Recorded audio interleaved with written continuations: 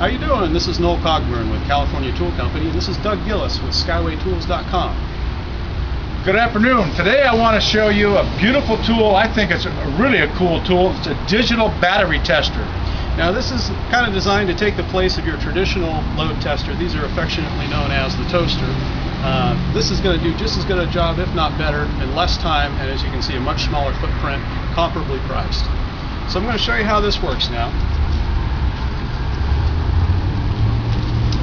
First of all, the engine's not running, but it was recently.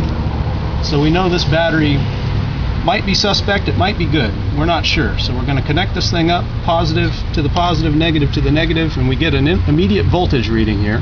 It's telling us that this battery sitting has 12.7 volts, and that's in the ballpark. That's what we want to see.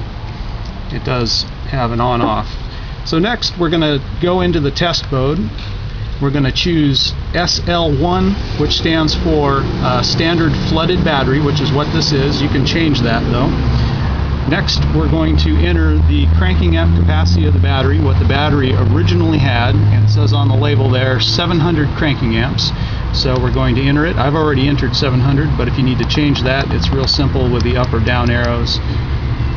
The next time we press this enter button, it's going to do the actual test. And it's going to take a snapshot of what the battery's doing, and it's going to give us a pass or a fail, and give us the effective cranking amps of the battery. So here we go. In this case, as you can see, it's tested it, it's failed it. Uh, now the effective cranking amps it shows are 275, considering this battery started out with 700. Indeed, this battery has failed. And it may still be running the car, but it's it won't for long. we need a new battery here. So anyway, the advantages of the Solar BA5 are that you don't need to charge the battery fully before you do the test. As you can see, this battery wasn't fully charged, wasn't up to its full capacity, and was still able to give us an accurate picture of what was going on with the battery.